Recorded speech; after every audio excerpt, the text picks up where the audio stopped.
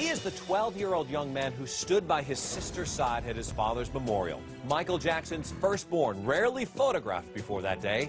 But back when he was just about two years old, Michael videotaped his every move.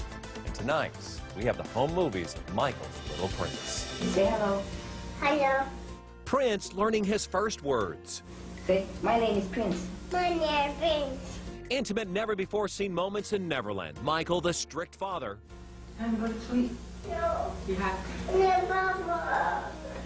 to go play. Michael, also the doting father, capturing every moment for posterity. Okay, okay, right here. Prince, right here. Over there, over there. Go play.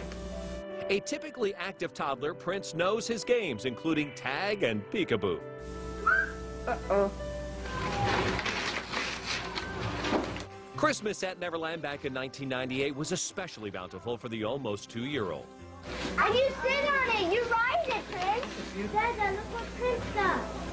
Oh, Look at the book. At one point, Prince seems less interested in a present from Michael than he is in a lollipop from Omer Bhatti. You want this? Give me a kiss. But he makes Prince work for it. You're gonna dance. He's hiding. Come on, Prince. Come on. Come on. Okay, okay.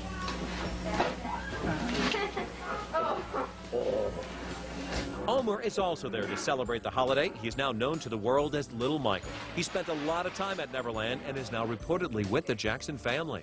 What kind of father are they? He says so much stuff.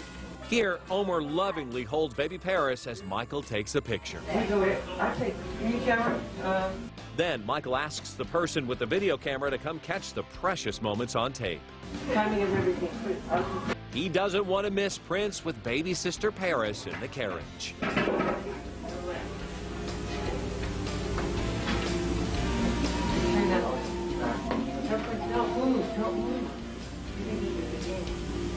Paris was just nine months old in that video, and of course, four years later, blankets would be worn.